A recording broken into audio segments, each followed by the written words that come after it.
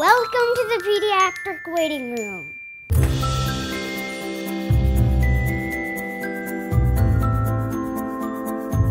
I'm Helen, and I am eight years old, and I finished treatment. This is Becky. She's one of the nurses here. Becky plays with you. She makes you feel better when you're scared.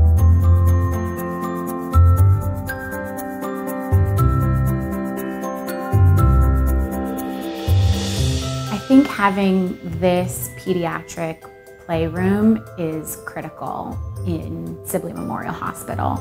To have a space that's decorated in colors and themes and has inviting toys makes this a place where they don't feel intimidated. I love the idea of having toys that can be therapeutic for them. So, this is the little cooking station in the pediatric waiting room.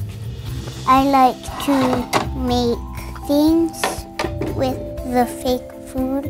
Right now, I am going to make a sandwich. I'm going as fast as I can and we're out of cars! So, this is the cat I did for when I finished treatment. Every time a kid finishes treatment, they get to make an animal and color it or print it, and they to put it anywhere on a tree. This is the bell. You get to ring it when you're finished. This room is really great, but we really could use some more toys.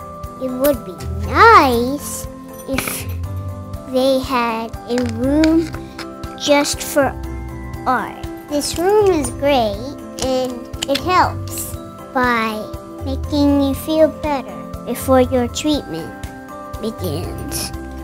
I felt scared, but after I came in here, I felt better. Don't worry, they'll take very good care of you.